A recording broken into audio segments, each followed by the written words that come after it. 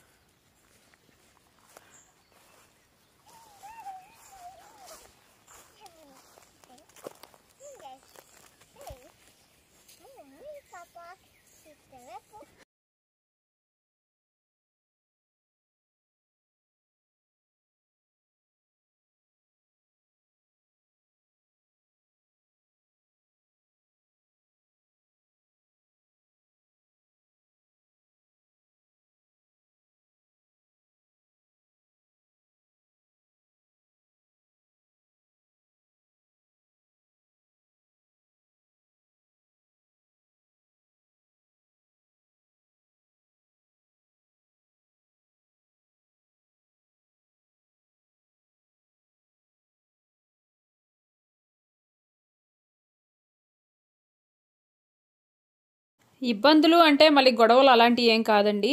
ఒకసారేమో అత్తమ్మకి కరోనా వచ్చింది తర్వాత మామిగారికి కరోనా వచ్చింది. మామిగారికి మళ్ళీ బాగోకపోతే మళ్ళీ మా పెద్ద బావగారికి కరోనా వచ్చింది. అట్లా ఒకళ్ళ తర్వాత ఒకరు ఒకళ్ళ తర్వాత ఒకరు సిక్ అవుతానే ఉన్నారనమాట ఇవన్నీ చూస్తుంటే నాకు ఒక త్రీ ఇడియట్స్ మూవీ ఉంది కదా స్నేహితుడు మూవీ దానిలో ఉన్న సైంటిజం పిల్లలకు నేర్పించేది ఉంది కదా అవన్నీ గుర్తొచ్చినాయి అన్నమాట. అది ఎందుకు చెప్తున్నానంటే సైకిల్ మీద సైకిల్ తొక్కితే బట్టలు ఉతుక్కోవడము తర్వాత సైకిల్ తొక్కితే కరెంట్ ఎలక్ట్రిసిటీ ఫామ్ అవడము ఇవన్నీ ఉన్నాయి చూసారా? విండ్ మిల్ తిరిగితే ఎలక్ట్రిసిటీ బల్బు వెలగడము ఇట్లాంటివి ఉన్నాయి చూసారా? అవన్నీ కూడా దీనిలో మా మావి గారే తయారు చేశారన్నమాట. ఈ పుల్ల తయారు చేశారు. ఈ పుల్ల ఈ పుల్ల అంతా కొట్టిందంతా కూడా ఆ మషిన్ తయారు చేశారు చూడండి. అది కూడా మా మావి గారు తయారు చేసిందే ఇక్కడ. సో అవన్నీ వెల్డింగ్ చేయడం కానీ అన్నీ చేసేస్తారన్నమాట. సో ఆ విధంగా అయితే చాలా టాలెంటెడ్ మా మావయ్య. సో మొత్తం అన్నీ చూడ పుల్ల అంతా శుభ్రంగా చిన్న చిన్న పీసుల్లాగా చక్కగా కట్ చేసేసి బల్కుల్లాగా పెట్టారు. ఆ బల్కులన్నింటినీ కూడా వింటర్లో వాడతారన్నమాట. వింటర్లో అంటే ఎలక్ట్రిసిటీ బాగా అవుతుంది కాబట్టి మోస్ట్లీ అంతా హౌసెస్ అన్నీ కూడా వెయిట్ చేసుకుంటూ ఉండాలి ఫిన్లాండ్లో. లేకపోతే ఇంకా అంతే సంగతులు ఐస్ అయిపోతాయి అన్నమాట లోపల కూడా. సో అందువల్ల ఈ పుల్లంతా కూడా రెడీ చేసి పెట్టారు. సో మేము వచ్చేటప్పుడు కూడా కొంచెం ఉన్నాయి. ఇంకా మా హస్బెండ్ మేమందరం నా కారినా కానీ అందరూ హెల్ప్ చేస్తూ ఉండేరు అన్నమాట సో నేను కూడా వెళ్ళి కొంచెం హెల్ప్ చేస్తూ ఉన్నాను. సో ఇవన్నీ కొంచెం మెమరీఫుల్గా ఉంటాయి కాబట్టి ఇవి కూడా షూట్ చేశాను అన్నమాట అది నేను ఎలాగో యూట్యూబ్ స్టార్ట్ చేశాను కాబట్టి ఇండియాలో కూడా అందరికీ తెలుస్తుంది నా లైఫ్ ఎలా ఉంది ఏంటనేది.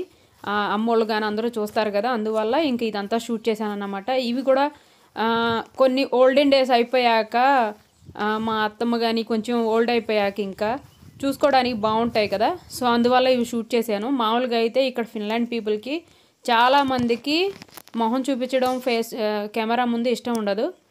కానీ ఇంకా మా అత్తమ్మ వీళ్ళందరూ అలవాటు అయిపోయింది కాబట్టి నేను ఉండడం వీళ్ళతోటి అట్లా అంతా. ఇంకా వాళ్ళు కూడా నో అని చెప్పరు అడిగాను. సో అందువల్ల అయితే కొంచెం షూట్ చేస్తూ ఉన్నాను. మా వదిన వాళ్ళు అయితే ఇప్పటికీ సిగ్గే అన్నమాట. వాళ్ళు అసలు ఇప్పటి వరకు కెమెరా ముందుకు సరిగ్గా రాలేదు. ఒకసారి రెండుసార్లు మాత్రం తప్పించి. సో ఇది నా ఫ్యామిలీ అంతా కూడా అత్తమ్మ మావయ్య బావగారు ఉన్నారు. బావగారు ఇప్పుడు హాస్పిటల్లో ఉన్నారన్నమాట. అది దాని గురించి తర్వాత చెప్తాను. చాలా పెద్ద సీరియస్ అయితే అయ్యింది. ఆయన ఇంకా హాస్పిటల్లోనే ఉన్నారు. అందువల్ల అత్తమ్మ కొంచెం తగ్గిపోయారన్నమాట. చాలా అంటే చాలా కష్టాలు వచ్చినాయి. ముందు వదినికి బాగోకపోవడం తర్వాత మామయ్య గారికి బాగోకపోవడం తర్వాత మా ఇప్పుడు అత్తమ్మకి కరోనా రావడం తర్వాత మళ్ళీ మా బావి బావగారికి కరోనా రావడం అట్లాగా కొంచెం ఇబ్బందులు అయితే ఉండే ఉండే. అందుకే మామయ్య గారు కానీ లేకపోతే అత్తమ్మ కానీ బాగా సిక్ అయిపోయారు. కొంచెం ఎంతైనా సరే ఇటు వరకు ఉన్నట్లు లేరు. ఇప్పుడు వచ్చినప్పుడు చూస్తే ఎందుకంటే చాలా రోజులు అయిపోయింది. మేము కూడా చూసి దగ్గర దగ్గరగా ఒక ఎయిట్ మంత్స్ నైన్ మంత్స్ అయితే అయిపోయింది వాళ్ళని చూడటం. మాట్లాడుకుంటున్నాం కానీ ఫోన్లో మాట్లాడుకుంటున్నాం కానీ ఆ, ఒకళ్ళింటికి ఒకళ్ళు వెళ్ళ వెళ్ళలేదన్నమాట సో అందువల్ల ఇప్పుడు అయితే మా అత్తమ్మ చాలా హ్యాపీగా ఫీల్ అయ్యారు. నేను ఫీ- ఇక్కడికి ఓపియో మా అమ్మాయిని తీసుకుని రావడము. ఆవిడ కొంచెం సారోనెస్ మర్చిపోయారు అన్నమాట మా అమ్మాయితో ఆడుకుంటూ ఉన్నారు. సో ఈ విధంగా అయితే ఎంజాయ్ చేసాము. ఇప్పుడు కూడా ఏంటంటే బాధ ఒక ఫోర్ డేసే వచ్చామన్నమాట మేము హాలిడేస్కి సో అత్తమ్మకి అవి చాలలేదు. మనవరాలతో ఆడుకోవాలంటే ఎవరికి ఇష్టం ఉండదు. సో అది చాలలేదు. కాకపోతే ఇంకా ఆవిడే వస్తానన్నారు అన్నమాట. అత్తమ్మ మావయ్య గారు కార్ వేసుకొస్తానన్నారు ఓలుకి. అంటే ఇది త్రీ హండ్రెడ్ కిలోమీటర్స్ కదా. సో ఫైవ్ ఫైవ్ అవర్స్ అలా అవుతుంది అన్నమాట ఇక్కడ నుంచి అక్కడికి రావడం. సో వాళ్ళు కూడా ఏజ్ టైప్ ఏజ్డ్ కాబట్టి కొంచెం ఇబ్బందిగా ఉండింది. సో ఈ పొలాలన్నీ కూడా మేము కూడా హెల్ప్ చేసి కొంచెం ఎంజాయ్ చేసాం అన్నమాట. ఈ ప్లేస్ వచ్చేసి కాఫీ తాగడానికని పెట్టారు. కాఫీ తాగడానికి ఇంకా బయట కూర్చుని ఏదన్నా విషయాలు చెప్పుకోవడానికి అట్లాంటివి అప్పుడప్పుడు స్పెండ్ చేస్తారన్నమాట. ఓవరాల్గా హౌస్ అయితే ఇట్లా ఉంటుంది. ఇదంతా వుడెన్తో తయారు చేసిందే హౌస్ అంతా కూడా. లోపల మాత్రం స్టోను అందువల్ల ఎప్పుడు హీట్ చేస్తూ ఉండాలి. మాకు వీళ్ళకి ఒక పిల్లు ఉందన్నమాట. ఆ పిల్లు అంటే వీళ్ళకి ప్రాణం. ఈ విండ్ మిల్ చెప్పాను కదా ఇదన్నమాట. ఎలక్ట్రిసిటీ రావడం కూడా చూపిస్తున్నారు చూడండి. బల్బు పెద్ద దొరక్క టైంలో నేను అడిగిన వెంటనే మామయ్య గారు చూపించారు. అది చిన్న బల్బు దొరికింది. దాన్ని కూడా తీసుకొచ్చి చూపిస్తున్నారు చూడండి లైట్ ఎలా వస్తుంది అనేది సో విండ్ వచ్చిన ప్రతిసారి కూడా ఎలక్ట్రిసిటీ ఫామ్ అవుతుంది అన్నమాట ఇక్కడ బాగా విండీగా ఉంటుంది కాబట్టి మోస్ట్లీ దాన్ని బట్టి ఇది తయారు చేశారు. సో విండ్ వచ్చిన ప్రతిసారి కూడా బల్బ్స్ ఎలగడము లేకపోతే ఏదైనా బ్యాటరీస్ ఏదైనా ఛార్జింగ్ కావాలంటే ఛార్జింగ్ పెట్టుకోవడము అంతా కూడా దీని ద్వారానే చేస్తారన్నమాట. ఎలక్ట్రిసిటీతో పని లేకుండా. మామి గారి దగ్గర చాలా నేర్చుకోవచ్చు. ఎందుకంటే ఈ ఎలక్ట్రిసిటీవి ఇప్పుడు ఈ మషిన్ ఉంది చూసారా? ఇది కూడా ఆయనే తయారు చేశారు. చూసారా? అన్నీ వైర్లు అన్నీ కనిపిస్తున్నాయి చక్రాలు అవన్నీ. పాడైపోయినాయి ఉండి చూసారా? అవన్నీ పడేయకుండా ఇట్లాంటి ఎక్స్పెరిమెంట్స్ చేస్తూ ఉంటారన్నమాట. సో నాకైతే మాత్రం ఆ త్రీ ఇడియట్ త్రీ ఇడియట్స్ మూవీనే గుర్తొచ్చింది ఇవన్నీ చూస్తే. ఎందుకంటే కష్టం లేకుండా అదే కాదు టాయిలెట్స్లో పంపులు ఇరిగిపోయినా అవన్నీ కూడా చాలా ఫిక్స్ చేయడం కానీ వాషింగ్ మషిన్లో పైప్స్ ఏమన్నా పాడైపోతాం అవన్నీ గారు మిక్స్ చేయడం కానీ చాలా అంటే చాలా వెరైటీగా అనిపిస్తాయి. బ్యాటరీలు ఛార్జింగ్ చేయించుకునేది చిన్నది ఒకటి చెక్క లాంటిది చేశారన్నమాట. అది కూడా నేను చాలా వండర్ అయ్యాను చూసిన వెంటనే. ఎందుకంటే ఇవన్నీ మామూలు కాదు. ఇవన్నీ కూడా సిటీ సైడ్ ఏం ఉండవు అన్నమాట. సో ఇవన్నీ పల్లెటూరు సైడే నువ్వు చూడగలవు ఏదైనా చూడాలంటే ఎట్లాంటివి సో అందువల్ల నాకు కూడా చాలా హ్యాపీ అనిపించి ఇవన్నీ షూట్ చేశాను అన్నమాట ఇక్కడ చూపిస్తున్నారు చూడండి ఎలా ఉందనేది. వీల్స్ బాగా కొంచెం షార్ప్గా ఉండే. మా అమ్మాయి వచ్చి తిప్పుతా తిప్పుతా అని అంటుంది. అవి కానీ తగిలింది అనుకోండి ఇంకా అంతే సంగతులు బాగా దెబ్బ తగులుతుంది అన్నమాట అందువల్ల ఇంకా ఆవిడ్ని కొంచెం ఆపేయాల్సి వచ్చింది. సో చూడండి ఇక్కడ లైట్ వచ్చింది కదా. కనిపించట్లేదు లైటింగ్ ఎక్కువ అయ్యి సో ఈ విధంగా అయితే జరిగిందన్నమాట. మా ఈ రోజంతా కూడా ఇట్లా ఎంజాయ్ చేసాము అదే కాకుండా మామయ్య గారికి ఇంకో బోట్ ఉండింది ఆ బ్యాటరీ తీసేసి మరీ షార్ట్ టైమే కదా వెళ్ళేదని చెప్పేసి బ్యాటరీ తీసేసి మీలో ఎవరికైనా తెలుసో తెలియదు తెడ్డేయడం అంటారు అన్నమాట అంటే ఆ వర్డ్ నేను ఎలా గుర్తుపెట్టుకున్నానో నాకే తెలియదు మా అక్కని అడుగుతున్నాను అన్నమాట అంటే అసలు ఇది తెడ్డేయడం అంటే ఏంటి అసలు అట్లా కానీ ఆవిడ చెప్పడం వల్ల కొంచెం గుర్తొచ్చింది నాకు అదైతే మర్చిపోలేదు నేను. సో ఈ విధంగా అయితే ఉండే మొత్తం పొలాలు కానీ అంతా చాలా పల్లెటూరు సైడ్ అంటే ఇలా ఉంటుంది. వచ్చేసి అత్తమ్మ గార్డెన్ సైడ్కి వెళ్దాము. ఇవన్నీ అయిపోయినాయి. మామయ్య గారు చేసినవి అన్నీ చూపించేసాను ఆల్మోస్ట్ అత్తమ్మ గార్డెన్ దగ్గరికి వెళ్దాము. కాదండి మధ్యలో కూడా మామయ్య గారికి కొంచెం ఫారెస్ట్ సై సైట్ ఉండింది అన్నమాట ఫారెస్ట్లో ఏంటంటే ఇక్కడ చెట్లు తీసేస్తే చెట్లు పెట్టాలి. చూపిస్తాను.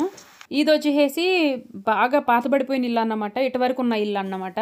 ఇవన్నీ పాతబడిపోయినప్పుడు పాడేయకుండా అట్లా ఉంచేసి లోపల చెట్లు లేకపోతే పొలాలు నరుకుతారని చెప్పాను కదా అవన్నీ పెట్టడము. యుద్ధం టయాల్లో కూడా యుద్ధం వచ్చింది కదా ఫిన్లాండ్లో. యుద్ధం వచ్చిన టయాల్లో కూడా కూరగాయలు అవన్నీ దాయడము ఇక్కడ ఉన్న మనుషులందరూ ఇక్కడ దీనిలో దాక్కోవడము సెల్లర్లో అంటే భూమి లోపలికి ఒకటి ఉంటుంది అన్నమాట హౌస్.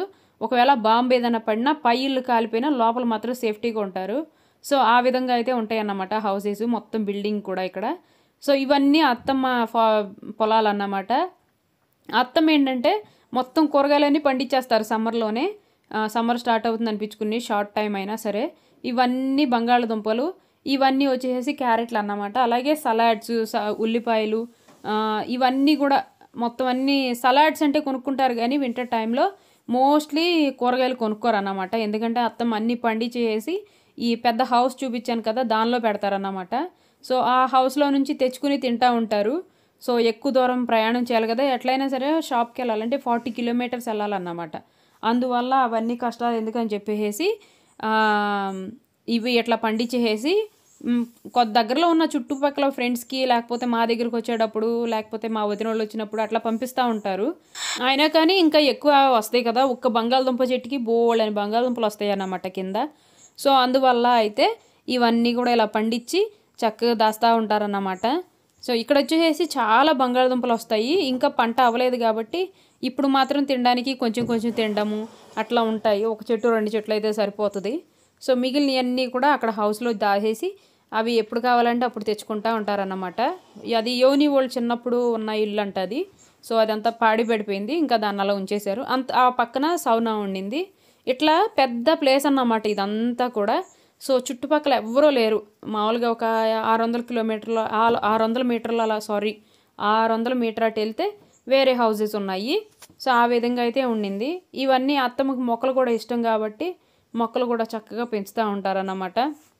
ఇక్కడ మూడు రకాల ఫ్లవర్స్ అయితే ఉన్నాయి. గ్రాస్ అంతా చక్కగా ఉండింది మొత్తం అంతా కూడా. ఇలా మెయింటెనెన్స్ చేస్తారు. ఇక్కడ వచ్చేసి చిన్నప్పుడు జ్ఞాపకాలు. ఉయ్యాల ఉందో చూడండి. సో ఇదండి పల్లెటూరు సైడ్ అయితే. మీకు ఈ వీడియో ఎలా అనిపించిందో నాకు లైక్ల రూపంలో కామెంట్ల రూపంలో తెలియజేయండి.